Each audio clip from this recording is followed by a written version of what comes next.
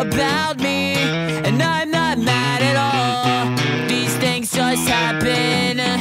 You might as well move on.